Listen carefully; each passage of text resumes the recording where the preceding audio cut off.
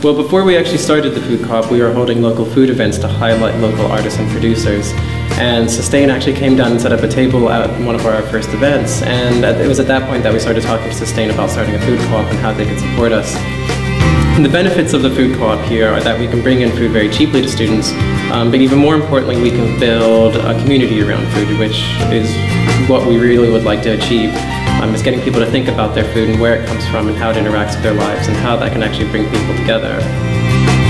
We ask for about an hour's worth of volunteering each month from all the volunteers, and that could be tasks from helping us pack up the veg boxes to distribution, um, to now scooping whole foods uh, and tear down of the stall.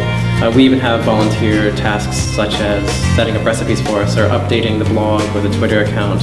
Um, and so there are things people can do even if they can't make it down to the stall every week on a Friday it's, it's not just volunteering. I, I, the people who volunteer here as well and the co-op members, they're my friends and, uh, and I'd love to help out in any way possible. Because we're volunteer run and we're community based, um, we're a friendly face, we're not just kind of um, aisles and aisles of vegetables from all over the world. We do try to keep the prices as low as possible, and partly that's because we are all volunteers and we have a lot of our overhead covered by the university, which is one of the big benefits of being at a university. We pay no rent, we pay no electricity, any sort of you know overhead like that. But we also don't try to make any profit on it, and so one of the big things for us is that you know we keep the prices as low as possible because we know that students need to have those prices low. One of the benefits that we've seen is that people who are brought in by the cheap prices that we're able to offer um, also learn a lot about local food and the benefits of local food. And that's something that we try to promote as much as we possibly can uh, in hopes that when they leave the university they'll keep thinking about local food and alternative ways of buying fruit and veg instead of just going straight back to the supermarket. The main thing about Scoop is to bring cheaper food but that's ethical or local or organic to students.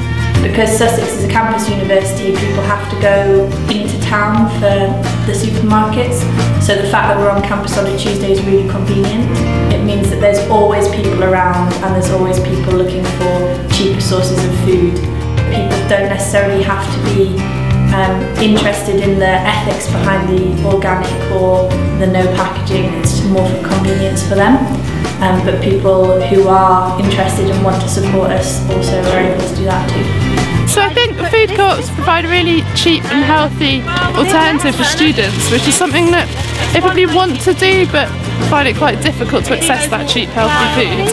Um, and it also shows that students are really proactive and really happy to volunteer and happy to do things to make changes and differences. It's a very positive experience for me.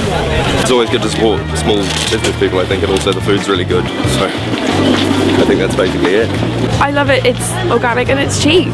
Being able to provide whole foods that is, you know, from, a, from an ethical source uh, at, at good prices is something that's very important to a lot of students and if student volunteers can provide that service, um, it's great.